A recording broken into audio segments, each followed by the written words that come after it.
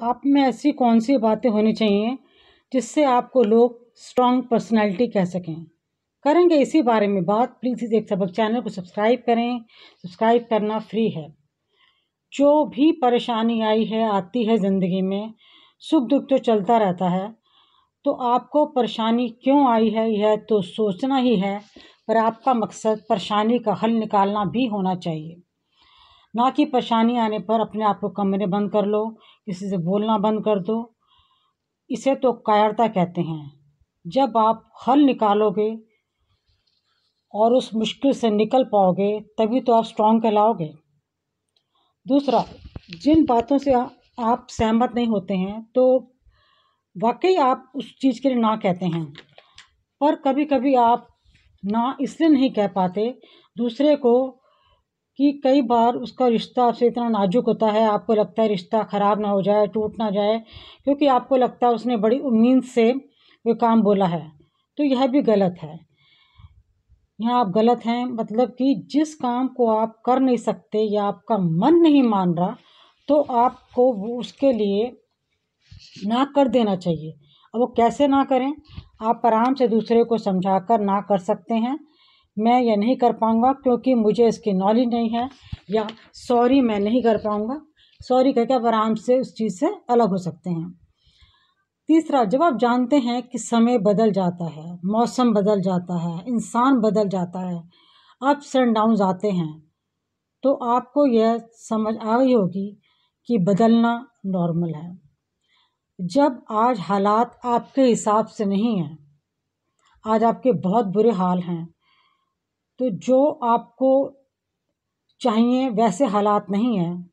तो जब आपको यह बात अच्छे से पता होगी कि कभी भी हालात इंसान के एक जैसे नहीं रहते, हालात समय के साथ बदलते हैं तो आपके जैसे भी हालात हों, आप उसका आराम से सामना कर पाओगे। और आप सभी से गलतियाँ होती हैं, इंसान हैं कोई बड़ी बात नहीं है, लेकिन जब आप उन गलतियों से कुछ सीखते हैं और उनको दोबारा नहीं दोहराते हैं तो आप स्ट्रांग बनते जाते हैं। और जो भी पुरानी बातें हैं, उसे भूल जाओ। कहते हैं ना पास्ट क्यों याद रखना? है पास्ट भूल जाने में आपका ही फ़ायदा है। आप अपने आप को खुद ही टेंशन देते हो। जो बीत गया, वो वापस नहीं आने वाला। क्यों फिर अपने आप को टेंशन देते हो? जब आपकी पुरानी बातों को भूल जाओगे तो आप बेहतर चीज़ों पर काम कर सकते हो। एक कहावत आपने सुनी होगी, भूल जाओ उसे जिसे आप माफ़ नहीं कर सकते, माफ़ कर दो उसे जिसे आप भूल नहीं सकते। कोई भी बात आपको परेशान कर रही है तो उस इंसान को ही भूल जाओ।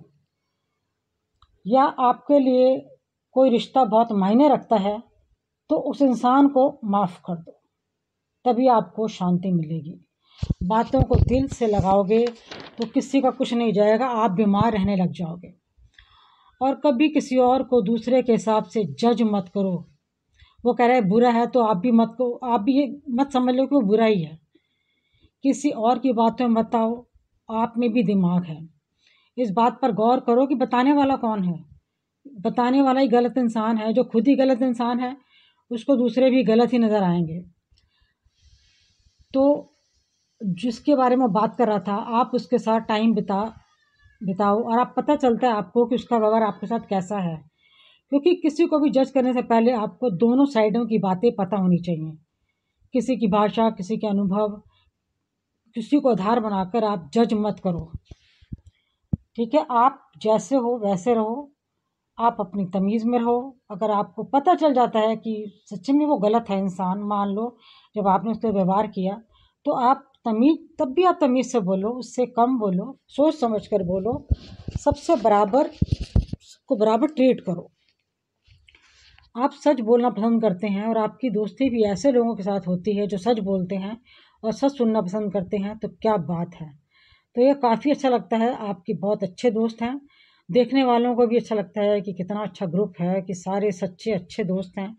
चाहे ग्रुप में दोस्त कम हो, कोई बात नहीं, लेकिन दोस्त अच्छे होने चाहिए। इस बात को एग्ज़ाम्पल से समझते हैं। आप कोई गोल बनाते हैं, या आपका मकसद है यह काम करना। कभी कभी क्या होता है घर वाले भी आप पर विश्वास नहीं करते, लेकिन अगर आप अपने गोल पाने पर विश्वास करते हैं, अगर आपको विश्वास है कि मैं कर लूँगा, और आप उसके लिए मेहनत करते हैं तो वो आप ज़रूर गोल को पा लेते हैं, और घर वाले भी देखते रह जाते हैं। और स्ट्रॉन्ग पर्सनालिटी अगर मैं अपनी ज़िंदगी के अनुभव से कहूँ तो उन दो लोगों को कहना चाहूँगी कि वो दो लोग जैसे जीवन साथी हैं, जैसे कोई जीवन साथी किसी के चले जाते हैं या कोई हम अपना करीबी रिश्तेदार खो देते हैं और इस दुख से जल्दी उबर जाते हैं तो उसे स्ट्रॉन्ग पर्सनालिटी कहा जा सकता है। और कोई लड़का लड़की की शादी हुई है, साल, दोनों का लव रिलेशनशिप में थे और एक साल भी शादी नहीं चल पाई, मजबूरन दोनों को एक दूसरे का तलाक लेना पड़ा और वो इस चीज़ से उभर जाते हैं। तो इन दोनों को भी मैं बहुत स्ट्रॉन्ग कहूँगी। अब मैं वीडियो एंड करती हूँ। प्लीज़ एक सब चैनल को सब्सक्राइब करें। सब्सक्राइब करना फ्री है। Thanks for watching